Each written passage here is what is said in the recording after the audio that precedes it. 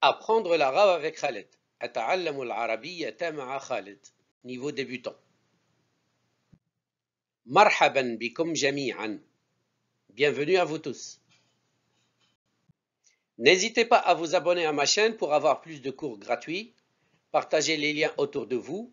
La totalité de mes cours niveau débutant sont sur le site www.udemy.com. Likez au maximum s'il vous plaît et cliquez sur les notifications afin de recevoir les prochains cours. Niveau débutant, leçon 22. Titre de la leçon Lecture sans voyelle. عنوان الدرس قراءة بدون شكل. Bien sûr, de droite à gauche, je répète, قراءة بدون شكل. C'est-à-dire lecture sans les voyelles. Qu'est-ce que la lecture sans voyelles? Paradoxe de la lecture de la langue arabe. En langue arabe, la lecture pour débutants nécessite la présence des voyelles dans les mots, dites aussi haraketun, mouvement. La fatha, la dhamma, la kasra, le tanwin fatha, tanwin dhamma et tanwin kasra, le alif mad, le waw mad et le yamad. Voir les leçons de 1 à 7 sur les voyelles courtes, longues et doubles.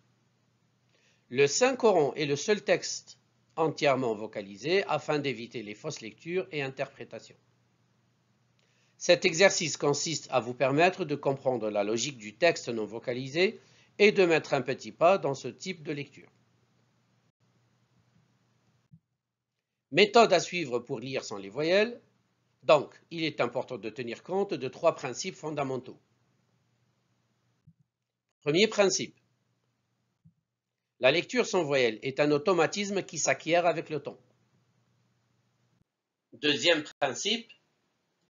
La lecture sans voyelle se développe grâce à la maîtrise des fonctions grammaticales de chaque mot dans la phrase. Troisième principe. La lecture sans voyelle se développe grâce à la mémorisation du vocabulaire relatif aux verbes, noms, adjectifs et outils, déterminants, prépositions, etc. Observez les deux phrases suivantes. La première, elle est vocalisée. Donc les voyelles, elles sont dans des cercles rouges. C'est ce qu'on appelle des voyelles. Plutôt, on les appelle des mouvements parce que c'est ce qui permet de changer les mouvements de la bouche de l'appareil la, phonatoire. Donc, la phrase de droite à gauche, bien sûr, ذهب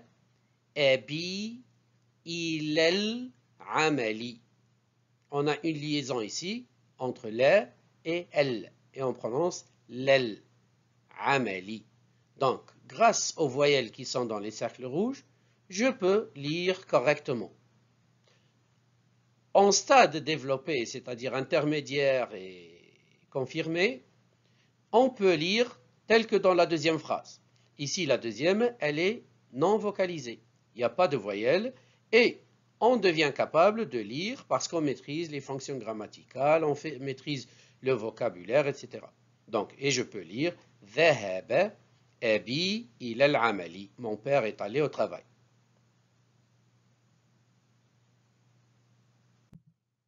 La première phrase est vocalisée, elle a des voyelles au-dessus et en dessous, des lettres de chaque mot.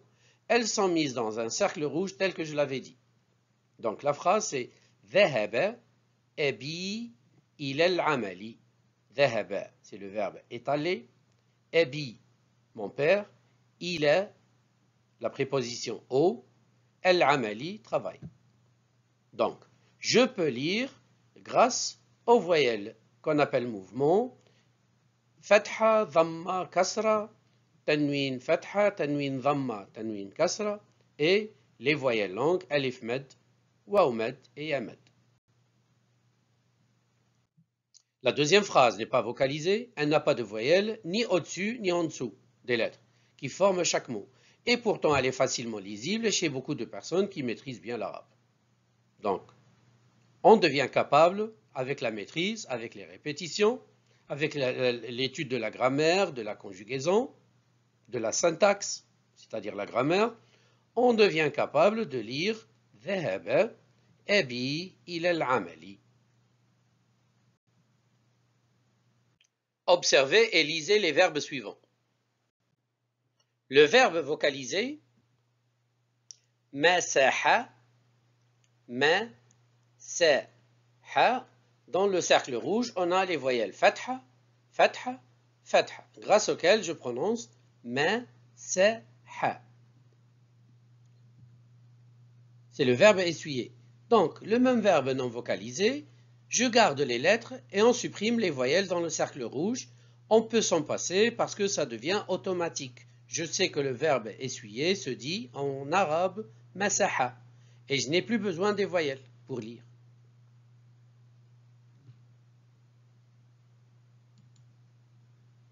Je répète, masaha vocalisé, masaha non vocalisé. Le verbe suivant, donc verbe vocalisé, waqafa. Waqafa, donc composé de trois lettres, chacune porte une voyelle courte. Dans le cercle rouge, fatha, c'est le tiré au-dessus. Donc wa, fa. Donc ce verbe est vocalisé. Il est destiné à des débutants. Après, une fois j'ai mémorisé le verbe s'arrêter, waqafa, je peux me passer des voyelles dans le cercle rouge et je peux lire waqafa de cette manière-là. Donc, à droite, waqafa vocalisé avec ses voyelles. À gauche, waqafa sans ses voyelles. Lisons ensemble les verbes suivants. Donc, de droite à gauche, verbe vocalisé. Kessera. Kessara. Donc, il est composé de trois lettres. La première, ke, avec sa voyelle fatha dans le cercle rouge. La deuxième, se, avec sa voyelle fatha dans le cercle rouge. Et la troisième lettre, ra, avec sa voyelle fatha dans le cercle rouge. Et je lis kessera. Sachant que cette petite forme euh, qui ressemble au W, elle a tendance à doubler. Euh, elle double la lettre. C'est l'accentuation, c'est la voyelle shedda elle a pour rôle de doubler la lettre. Donc, maintenant, on peut lire le verbe sans voyelle. Donc, verbe non vocalisé, c'est le même kessara. Donc, je peux être capable de lire sans les voyelles dans le cercle rouge que vous observez ici, les trois fatha. Donc, j'observe ce verbe, je le mémorise, je, euh, retiens que c'est le verbe kassara, casser. Et je n'ai pas besoin des voyelles dans le cercle rouge, qui se trouvent dans le cercle rouge. Donc le verbe vocalisé kassara, le verbe non vocalisé kassara, pareil. On essaye de lire maintenant un pronom personnel plus un verbe et tous les deux vocalisés. Observez, toujours de droite à gauche. Ana qara'tu toutes les lettres sont vocalisées et les voyelles, je les ai mises dans le cercle rouge. Donc, ici, nous avons les syllabes un, na, qa, ra, tout. Je répète, e, na, qa, ra, tout c'est-à-dire j'ai lu. Les voyelles sont dans le, cercle rouge, observez. Fatha dans le cercle rouge, Fatha, Fatha, Fatha, Sukun, le rond, la forme ronde, c'est le Sukun, c'est la voyelle muette Sukun. Et Dhamma. Grâce à toutes ces voyelles, je lis Ana qara'tu. Maintenant, j'essaie de lire sans voyelle, donc, et j'ai toujours le même pronom personnel plus le verbe non vocalisé, et je suis capable de les lire sans les voyelles. Et je lis ana qara'tu. Ana qara'tu. Pourquoi? Parce que ana, c'est le pronom personnel je. Qara'tu, ça se dit d'une euh, manière euh, unique. Donc on dit qara'tu. Je ne peux pas dire d'une autre manière correspondant au pronom personnel ana.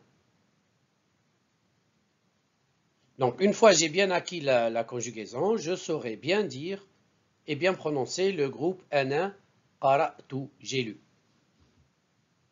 Donc, a, na, qa, ra, tout.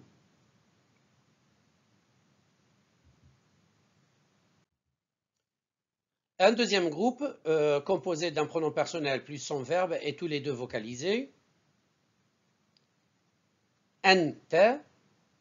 Kharajta. An, ta. Je découpe bien sûr en syllabes, je répète. Raj, ta. Donc on a en tout cinq syllabes. Et au-dessus de chacune des voyelles, euh, pardon, des lettres, il y a sa voyelle, il y a une voyelle. Donc ici, on a fatha, le tiré c'est fatha, le soukoun, le rond c'est le soukoun. Pareil, fatha, fatha, fatha, à titre de rappel, veut dire ouverture, c'est-à-dire son ouvert, prononciation ouverte. Articulation ouverte. Donc, kha, ra avec fatha, le j ici avec soukoun et fatha. Et je prononce n, ta,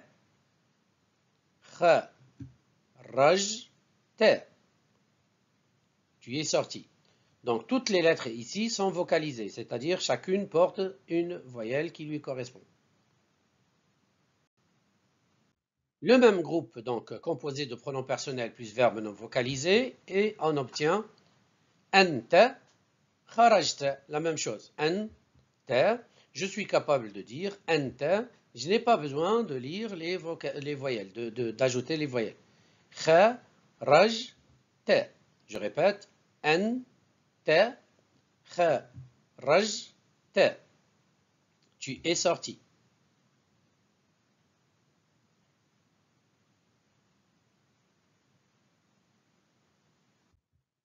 Observez et lisez les groupes nominaux suivants.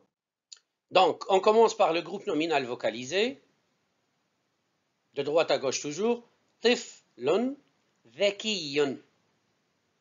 Je répète. Tiflun, vekiyun. Donc, on a toutes les voyelles ici, au-dessus et en dessous. Le même groupe.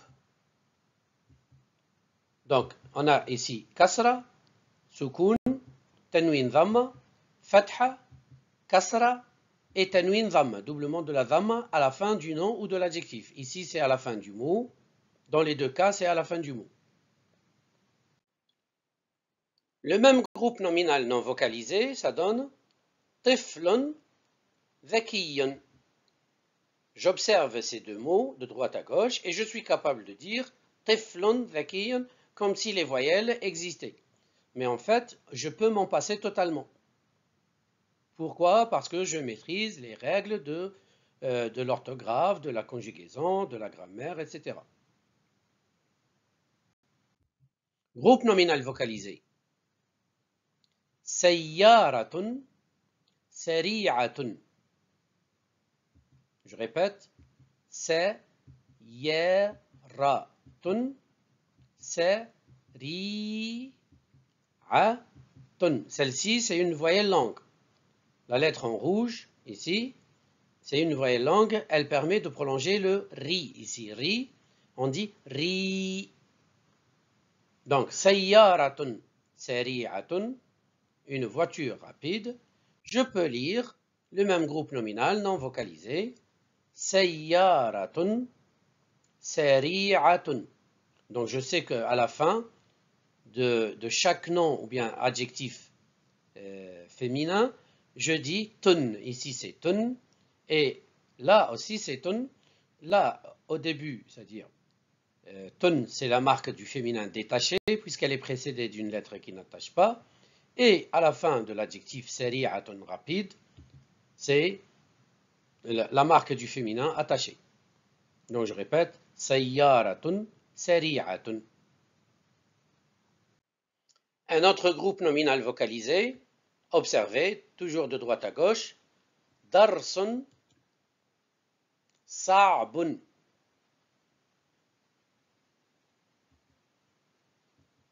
Da avec la fatha dans le cercle rouge, ra avec sukun, et toutes ces deux lettres, ensemble, elles forment une même syllabe, c'est dar, dar. Celle-ci, c'est sun. Tanwin dhamma à la fin du nom. Les doubles dhamma. Darsun, sa'bun. Sa'bun, difficile. C'est une leçon difficile. Donc, dar, c'est une même syllabe composée de deux lettres. Sa, c'est une même syllabe composée de deux lettres. Un groupe nominal non vocalisé, le même en fait c'est darsun sa'bun. Darsun sa'bun, je suis capable de lire, je n'ai pas besoin des voyelles parce que je maîtrise euh, le vocabulaire, la conjugaison, la grammaire, l'orthographe, etc. Et tout ça, ça viendra avec les pratiques.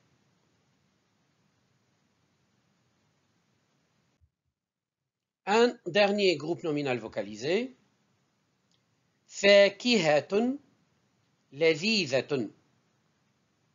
فاكهة لذيذة فاكهة لذيذة لذيذة Alors, j'ai mis en rouge les voyelles longues. Là, celle-ci, c'est une voyelle longue. Et celle-ci, c'est une voyelle longue. C'est pour cela que ni au-dessus ni en dessous, elles n'ont pas d'autres voyelles. Donc, fait, c'est une syllabe composée d'une euh, lettre et de sa voyelle longue. Fait. Et vi, vi, cette lettre, avec la voyelle longue, euh, avec les deux points en dessous, c'est le yé, c'est le yemet. Donc, je prononce vi. Donc, ces deux que j'ai soulignés sont des voyelles longues. Des syllabes, pardon, des syllabes longues. Le même groupe nominal non vocalisé, je peux lire فاكهة لذيذة فاكهة لذيذة Et je peux me passer des voyelles au-dessus et en dessous. C'est la fin de ce cours. Merci de l'avoir suivi. إلى اللقاء في الدرس القادم. Au revoir et à la prochaine leçon.